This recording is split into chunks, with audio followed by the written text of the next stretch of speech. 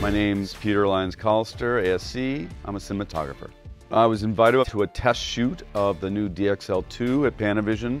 Most important thing for me is skin tones. Now with Monstro and IPP2, I can take subtlety in color manipulation to a new level. My name is Javier Grube and I'm a cinematographer.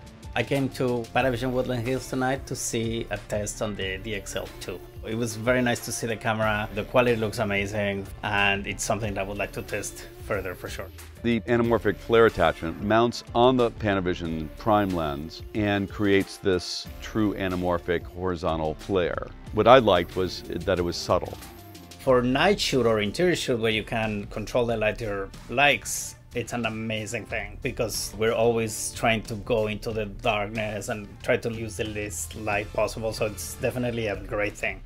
There was a set of the vintage 65 primes, which I'd never seen. Basically, the vintage 65s are T1s. Focus fall off and all that is so interesting from both a large format standpoint and a wide aperture standpoint.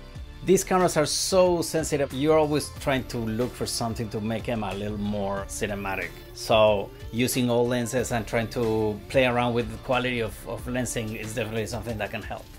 It was interesting to see, especially when you turn the white lights off, the camera actually reacted very well to the red light. Usually the red light is very hard on the chip and, and the definition and this one was very, very clean. Red has always been a problem. Only 25% of the sensor sites are red. You're basically shooting under quarter resolution. Whereas with 8K now, you're actually getting 2K resolution out of your pure red light scenes, and so it's going to be sharp. I know that in the end result, I saw things that I was very pleased with. That combination, how well I thought the colors came out. I did like it a lot. Yes, I did like a lot what I saw.